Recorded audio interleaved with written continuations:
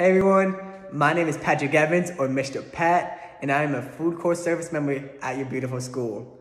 And this year, although virtual, we're gonna be getting to know each other a lot by doing so many fun lessons and activities all related to STEAM. And these are subjects everyone's already learning, like math, science, the arts. I'll be showing everyone how to whip it up in the kitchen, making tasty, nutritious snacks just like these.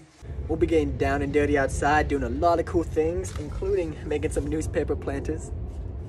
So obviously I am very excited this year to be welcoming everyone to our STEAM Ed project. We'll be teaching everything from growing your food, where it comes from, and how healthy and strong it can make every single one of us.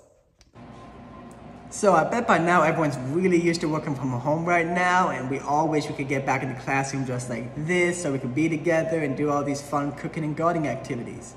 But in the meantime, we still have a very fun year with all the lessons we have planned for everyone to watch from home. So I'll be showing everyone how to do them and maybe with your parents' permission, you could even try it yourself. So stay tuned for our first lesson.